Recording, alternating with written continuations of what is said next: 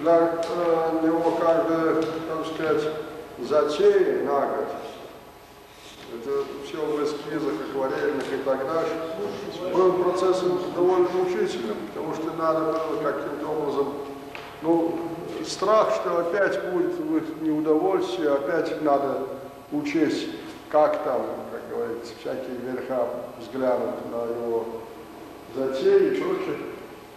Вот. Э, всегда висел. Поэтому многие мажорные вещи им сделаны такие, ну, как бы компромиссные. И вот э, я тогда пристал к нему с, с тем, ну чего ты, Господи, Боже мой, боишься, сделай из того, что ты хотел сделать. Вот то, э, мне страшно нравились вот серии эти крестьянские его, крестьянского жития-бытия, которые эти самые и целая куча эскизов самых разнообразных жанров, вот таких подлинно русских, мужицких у него всегда это было.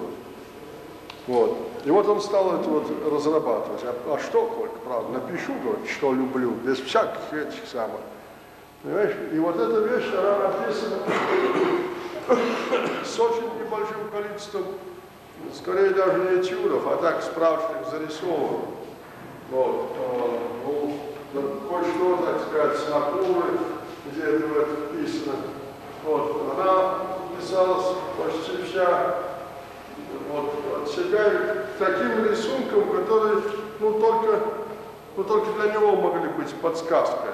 Вот, вот это все в нем было ощущение всего этого мира, всего боли, неба, телег и прочего и жеребенок с лошадью.